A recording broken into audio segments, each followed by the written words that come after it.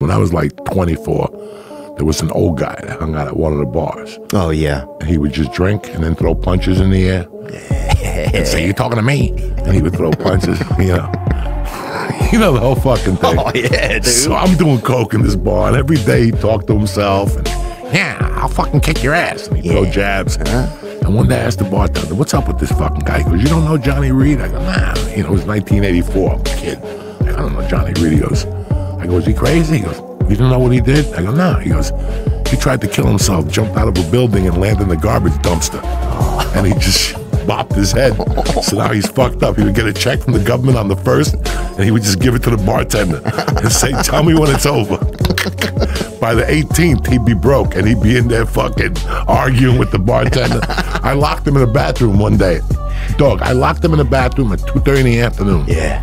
Because in Jersey, the bathroom's locked from the outside. Mm-hmm. He was driving us crazy, talking about boxing. 1964. I took him to the body and we're like, Johnny, knock it off.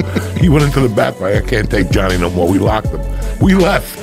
we leave. Oh, you got him. I came back at nine. I go to the bathroom. He's still in the bathroom locked. He came in. He's like, "Woo!" That's the noise he made when I opened the door. He goes, "Woo!"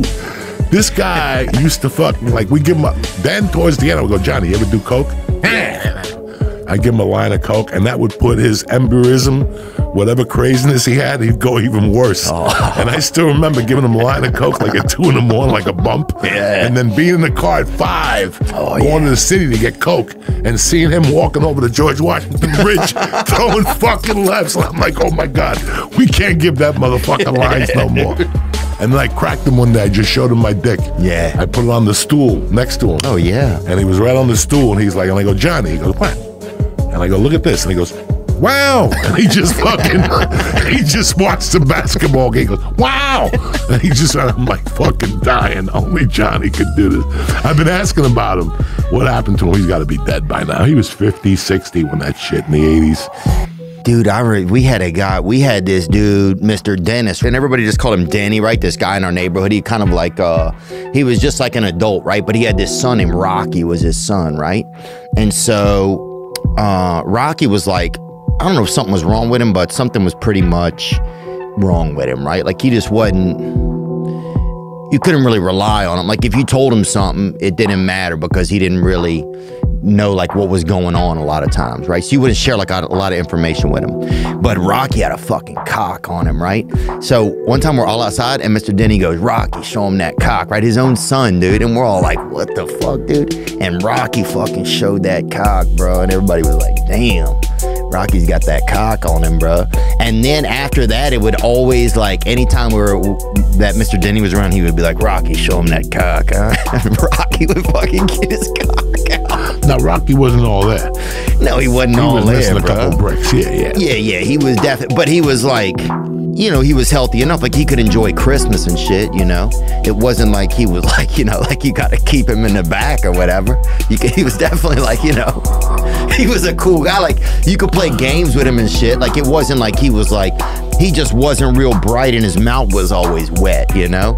But the dad would be like, Rocky, show him that. Show him cock." that dick. yeah, show him that cock, Rocky. Because most of those, like mentally challenged, like retards, they got big dicks. Yeah. And they're horny too. They'll fuck you to death. Oh, dude, you'll recalk your living room, dude. Them boys are Dog, I saw fucking. I was up at uh in Salem, Oregon one time, Eugene, and it was uh, uh whatever special Olympian convention at the hotel. We were doing comedy. Not good. And I was working with a feature act who had huge tits with cleavage. she was on stage, and one of the kids was walking by. And he saw her tits, and he started making. He started making noises. Yeah, that do, just doing the Biden. You think I'm fucking kidding you? I was watching the whole thing go down, and I'm watching this kid. Why is he going crazy? He was looking at her tits, and there was two fucking big black guys, like University of Oregon football players that work in security. There was a point they couldn't contain him. Yeah. He was just going, and they had to fucking tackle him. He was pushing the brothers out of the way. I was like, this fucker, because they're strong too. Oh yeah. Oh, definitely. I They're think strong they- too, so you got to be careful. They'll hold you down and fuck you to death with that big Oh, yeah, fucking, with that big fucking Special Olympian dick. Hey, You're gonna have some problems, dog. Uh, yeah, you can't let them pet an animal for too long. That's for sure, brother. That shit'll escalate.